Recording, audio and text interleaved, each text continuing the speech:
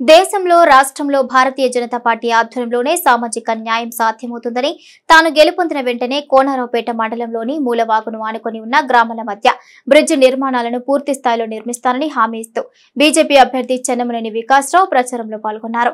ఆదివారం రోజున కోనరావుపేట మండలంలోని మామిడిపల్లి బాప్సాయిపేట గోవిందరావు తండా వట్టిమల్ల గొల్లపల్లి కమ్మరిపేట తండా సేవాలాల్ తండా అజ్మీరా తండా ప్రాంతాల్లో జరిగిన ప్రచార కార్యక్రమంలో వికాసరావు హాజరయ్యారు. బీజేపీ అధికారంలోకి వస్తే రాష్ట్రంలో బీసీ అభ్యర్థిని ముఖ్యమంత్రిని చేస్తామని అవసరమైతే దళితుడు కూడా ముఖ్యమంత్రి అయ్యే అవకాశం తమ పార్టీకి మాత్రమే సాధ్యమని ప్రభుత్వ పాఠశాలలో మౌలిక సదుపాయాల కల్పన కోసం కృషి చేస్తామని పేర్కొంటూ ప్రచారం నిర్వహించారు. ఆయన వెంట పలువురు బీజేపీ నేతలు కార్యకర్తలు ఉన్నారు.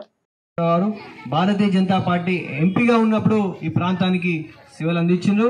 ఖచ్చితంగా వారి అడుగుజాడలలో ఖచ్చితంగా నీతి నిజాయితీతో సేవ చేస్తానని మాటిస్తున్నాను. మరి ప్రస్తుత ఎంపీ బండి సంజయ్ గారు కార్యకర్తలలో యువజనలో కొత్త జోష్ నింపిండ్రు. పోయిన ఎలక్షన్లో దాదాపు పార్లమెంట్ పరిధిలో డెబ్బై నాలుగు వేల ఓట్లు వచ్చినాయి మరి డెబ్బై నాలుగు వేల ఓటర్లు ఇంకొకరు ఓటేస్తే ఎక్కువ ఓటేస్తే ప్రత్యర్థుల డిపాజిట్ గల్లంత అవుతుందని ఈ సందర్భంగా నేను మనవి చేసుకుంటున్నాను. మరి మీరందరూ కమలంపు గుర్తుకు ఓటేయాలి. ఈరోజు చూసుకుంటే మరి తొమ్మిది సంవత్సరాల నుంచి ఈ ప్రభుత్వం టీఆర్ఎస్ ప్రభుత్వంలో అభివృద్ధి ఫలాలు ఫలాలు అందరికీ వస్తలేవు.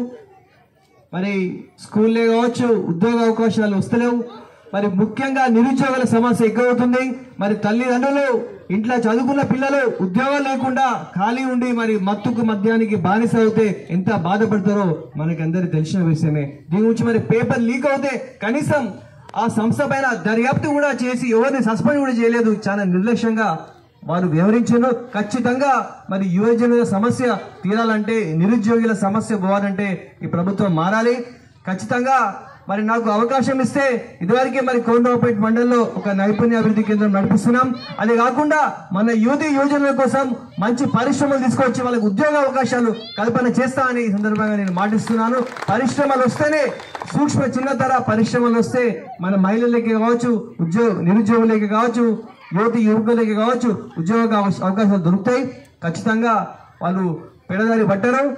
మౌలిక సదుపాయాలతో పాటు ఉద్యోగ కల్పన చాలా ముఖ్యమైన విషయం. ప్రభుత్వం మరి నిర్లక్ష్యం చేసింది. నాకు అవకాశం ఇస్తే వీటి గురించి ఆలోచన చేసి ఈ సమస్య తీరుస్తానని నేను మాటిస్తున్నాను.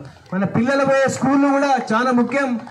చాలా స్కూళ్ళల్లో మరి టీచర్ల కొరత ఉంటుంది. టీచర్లు ఉంటే టాయిలెట్లు అక్కడ ఉండేవి టాయిలెట్లు టేబుల్లు ఫ్యాన్లు ఈ చిన్న చిన్న సమస్యలు కూడా ఉంటాయి అలాంటి సమస్యలు కూడా నేను స్కూళ్ళ పైన మన పిల్లల భవిష్యత్ బాగుంటేనే మన దేశ భవిష్యత్ బాగుంటుందని స్కూళ్ళు కూడా మరి మోడల్ స్కూళ్ళని సిరిసిల్లాలు ఉన్నాయి. మన కోనరావుపేట మండలంలో మన వేములవాడలో మోడల్ స్కూల్స్ లేవు. ఖచ్చితంగా ఒక మోడల్ స్కూల్ కూడా మన కోనరావుపేట మండలంలో నేను తీసుకొస్తా అని